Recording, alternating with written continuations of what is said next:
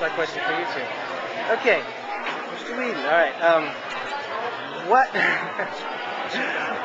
what exactly will you do differently with Dollhouse so that you don't have a firefly taste in your mouth um, after when, the, when the, you know if anything were to happen?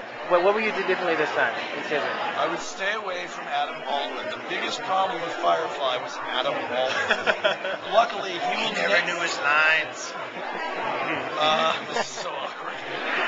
Um, what I would do differently, you know, first of all, I'm dealing with different people, but you never know where the show's going to go. Uh, I'm just making sure every step of the way that the network knows what they're getting, wants what they're getting, and that we're communicating all the time.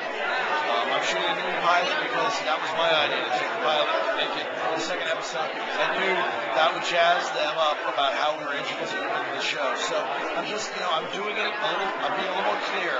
I love Firefly with all my heart. I love Dollhouse very much, but I'm, I'm behaving like a grown up all the way along to make sure that, you know, if somebody else does it, I know how to control it. Okay. And so far, nobody's, nobody's been bad. Cool. Except, Okay, so um, so on Battlestar Galactica, you're involved in like a critical and cultural hit.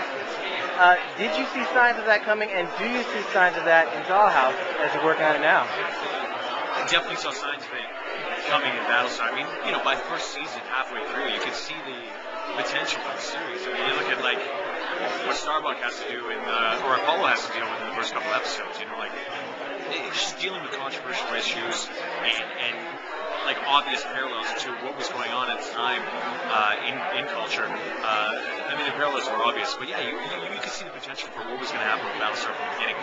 Do I see it with this? Well, I've only shot the pilot, right?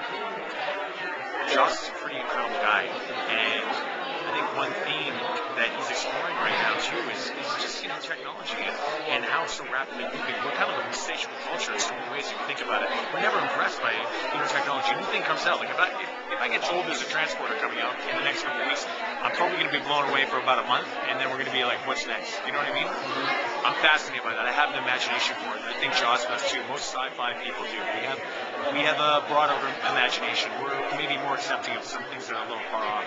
So I'm excited about what's going to happen with the show, and the potential for the storyline with the premise is is huge. Okay.